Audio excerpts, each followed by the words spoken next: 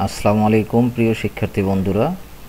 Microsoft Office Excel two thousand সেভেনের home মেনুর আন্ডারে যে সমস্ত কমান্ড আছে, সেই কমান্ডগুলো নিয়ে আমরা কথা বলছিলাম গত পর্বগুলোতে। আজকে কথা বলব কন্ডিশনাল ফরম্যাটিংয়ের হাইলাইট সেলস রুল নিয়ে।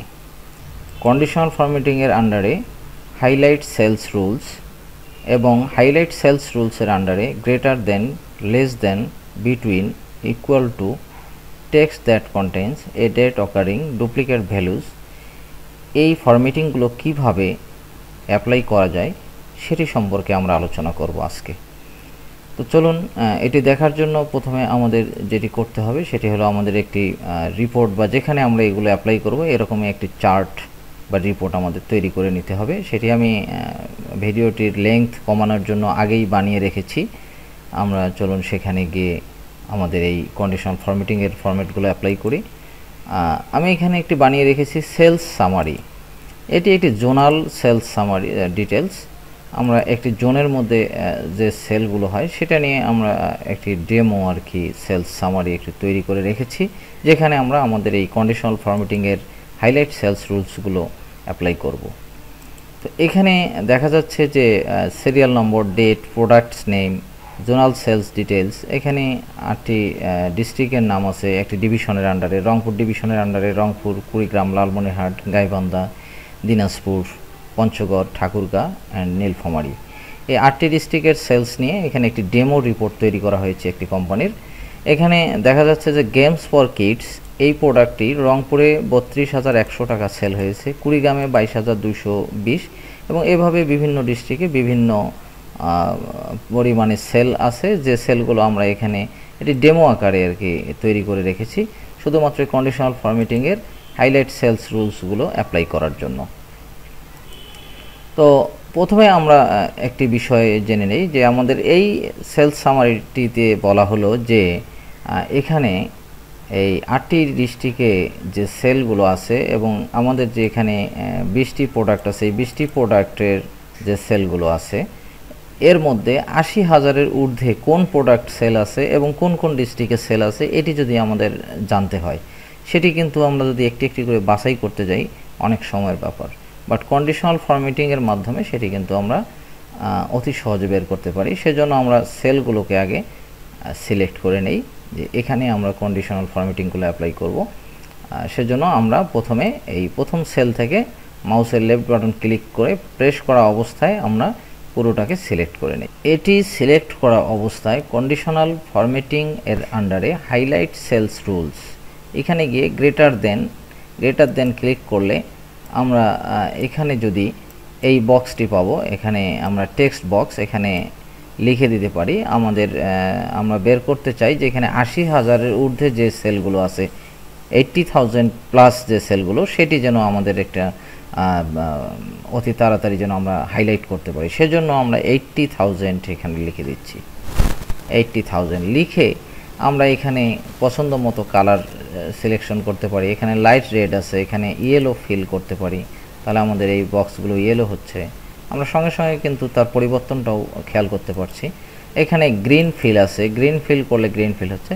তো আমরা প্রথমের যেটি আছে light red fill with dark red text এটি সিলেক্ট করে যদি ওকে করি, তাহলে সেক্ষেত্রে আমরা দেখতে পাচ্ছি যে আমাদের কিছু কিছু সেল কালারফুল হয়েছে, হাইলাইট হয়েছে।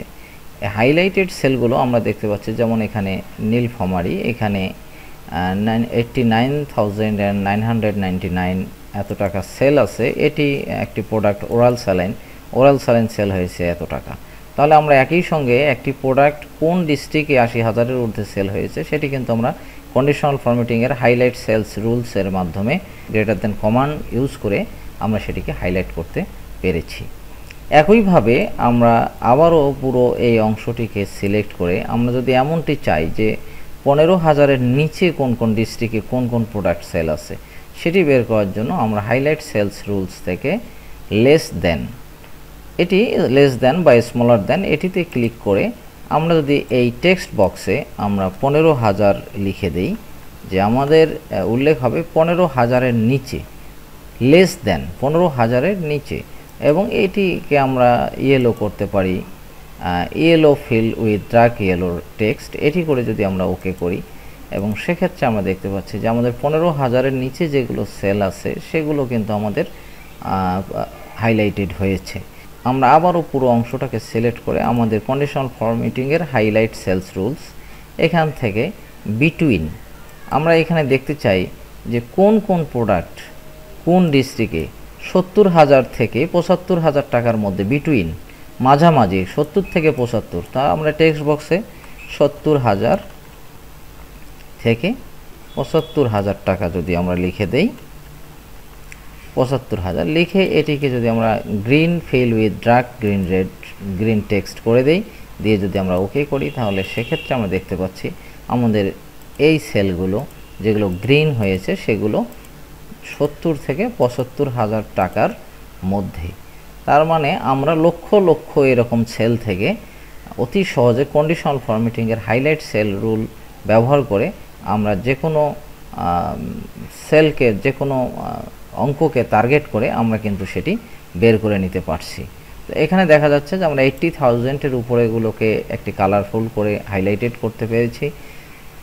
ফিফটিন থাউজেন্ডের নিচে, পনেরো হাজারের নিচে যেগুলো সেল সেটিকেও আমরা হাইলাইটেড করতে পেরেছি। সত্তর থেকে পঁচাত্তর হাজারের মধ্যে যেগুলো সেল সেটিকেও আমরা হাইলাইট করতে পেরেছি। তো এই কন্ডিশনাল যে ফরমেটিংগুলো আমরা এখানে ইউজ করেছি, এগুলোকে আমরা আপাতত ক্লিয়ার করি বোঝার জন্য। ক্লিয়ার রুল এখানে ক্লিয়ার রুল থেকে clear rule from selected cell করলে আমাদের কিন্তু এই রুলসগুলো সব ডিলিট হয়ে যাবে। এখন আমরা এখানে অ্যাপ্লাই করব হাইলাইট সেলস রুলসের আন্ডারে ইকুয়াল টু এই কমান্ডটি ইকুয়াল টু এই কমান্ড ইউজ করার জন্য আমরা এমন একটি অঙ্ক এখানে এই টেক্সট বক্সে লিখে দেবো, যেটির সমান এখানে অঙ্ক আছে সেগুলো হাইলাইটেড হবে। সে ধরুন আমরা এখানে নাইনটি থাউজেন্ড যদি রেখে দিই, তাহলে সেক্ষেত্রে দেখা যাচ্ছে যে আমাদের একটি মাত্র সেল হাইলাইটেড হয়েছে, তার মানে হচ্ছে যে আমাদের এই সেলগুলোর মধ্যে এখানে যত অঙ্ক আছে তার মধ্যে নাইনটি থাউজেন্ড একটি মাত্র সেলে আছে এবং সেটি কিন্তু আমরা কন্ডিশনাল ফরম্যাটিংয়ের মাধ্যমে হাইলাইটেড করতে পেরেছি। এর পরের যে কমান্ডটি সেটি হচ্ছে টেক্সট দ্যাট কন্টেন্স এখানে একটু দেখে নিতে হবে টেক্সট দ্যাট কন্টেন্স এবং এখানে এ বি এই কথাটি উল্লেখ আছে। এটা দিয়ে বোঝানো হয়েছে যে আমরা শুধুমাত্র এটি টেক্সটের ক্ষেত্রে আমরা এটি ইউজ করতে পারব। এ বি টেক্সটের এ বি এই টেক্সটগুলোর ক্ষেত্রে আমরা কিন্তু এই কমান্ডটি ইউজ করলে বেশি ভালো ফলাফল পাবো। সেক্ষেত্রে আমরা এখানে যেমন প্রোডাক্টস নেম আছে, এটিকে আমরা সিলেক্ট করি এগুলো টেক্সট এখান থেকে সিলেক্ট করে এই হাইলাইটেড সেল রুলস থেকে টেক্সট দ্যাট কন্টেন্টস এটিকে যদি এসে আমরা এই বক্সে যদি লিখে দেই যেমন এখানে গেমস ফর কিডস এখানে কিন্তু অটোমেটিক্যালি লেখা আছে, এবং সেক্ষেত্রে আমাদের কিন্তু গেমস ফর কিডস এটি হাইলাইটেড হয়েছে। আমরা এখানে এটি যদি চেঞ্জ করে কসমেটিক্স দিয়ে দিই কসমেটিক্স দিয়ে দেই, তাহলে সেক্ষেত্রে দেখা যাচ্ছে যে এখানে কসমেটিক্স হাইলাইটেড হয়েছে, এবং আমরা এখানে কালার চেঞ্জের মাধ্যমে যে কালার করলে আমাদের দৃষ্টিনন্দন হয়, সেটি করার মাধ্যমে আমরা কিন্তু এটিকে হাইলাইটেড করতে পারি। তো আমরা দেখতে পাচ্ছি এখানে কসমেটিক যে লেখাটি, সেটি কিন্তু আমাদের হাইলাইটেড হয়েছে। এবং এর মাঝে যদি আরও কোথাও কসমেটিক্স থাকতো, যেমন এখানে যদি আমরা একটা কসমেটিক্স লিখে দিই, দিয়ে যদি আমরা ইন্টারপ্রেস করি, তাহলে সেক্ষেত্রে দেখা যাচ্ছে কিন্তু কসমেটিক্স লেখা দুটি কিন্তু হাইলাইটেড হয়েছে। তো এরপরের যে কমান্ডটি সেটি হচ্ছে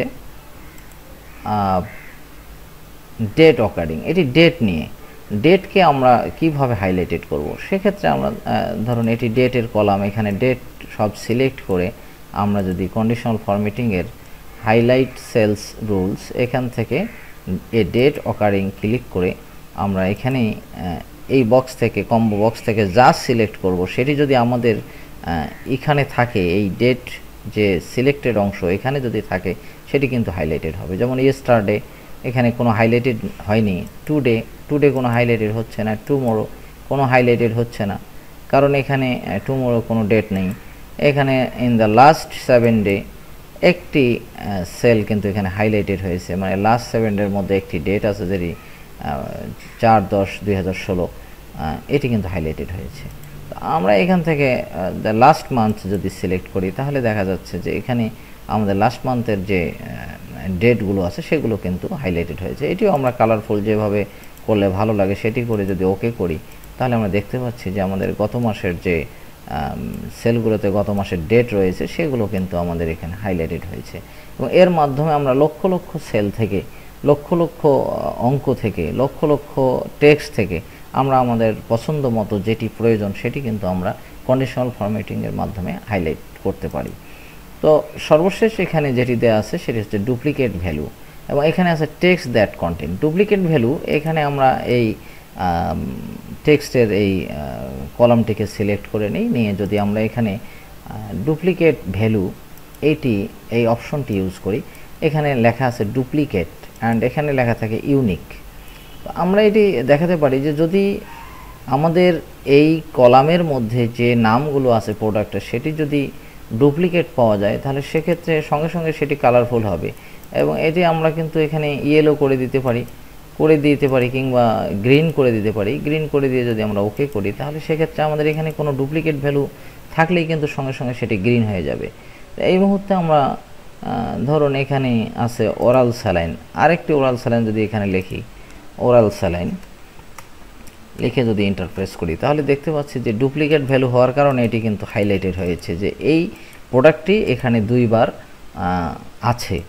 কিন্তু এই ডুপ্লিকেট ভ্যালু থাকার কারণে আমরা যেটি করতে পারি, আগেই যদি আমরা এটি সিলেক্ট করে নেই, তাহলে আমরা ডুপ্লিকেট ভ্যালু লিখতে গেলেই সঙ্গে সঙ্গে এটি হাইলাইটেড হবে এবং আমরা বুঝতে পারব যে এখানে একটা ডুপ্লিকেট ভ্যালু ইন হয়েছে।